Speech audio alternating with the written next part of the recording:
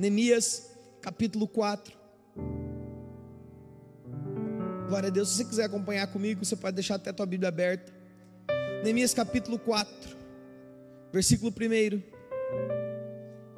Diz assim: olha que legal. E sucedeu que, ouvindo Sambalate, que edificávamos o muro, ardeu em ira e se indignou muito, escarneceu dos judeus e falou na presença dos seus irmãos e do exército: O que, que estão fazendo esses fracos judeus?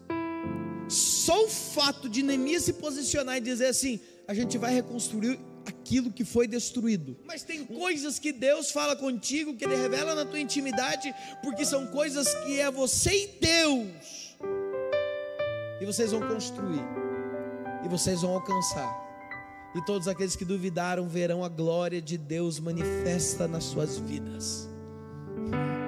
Alguns estão olhando e no meio do cenário de crítica está olhando para os escombros, está olhando para tudo que foi derrubado, está olhando para os portões queimados e está dizendo: não tem jeito, não vai dar certo, ninguém vai conseguir. Mas tem pessoas que estão posicionadas e estão dizendo: eu já estou vendo, no meio desse ambiente que pegou fogo, no meio dos muros derrubados, no meio de toda destruição, eu já vejo os muros sendo levantados, eu já vejo as portas sendo colocadas, eu já vejo a comida voltando para a mesa do nosso povo, eu já vejo, porque aquele que está posicionado, ele entende a palavra de que vem de Deus. Posso te dar uma boa notícia nessa noite, querido? Não perca tempo respondendo quem nunca construiu nada na vida, continue fazendo aquilo que o Senhor te mandou fazer a gente está construindo e de repente a gente para para responder alguém que está falando. Perde tempo para responder, não, querido. Continua fazendo aquilo que o Senhor confiou nas suas mãos.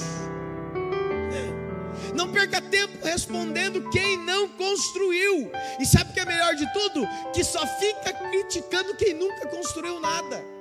Porque é tão frustrado, tão frustrado que ele não consegue ver o sucesso dos outros.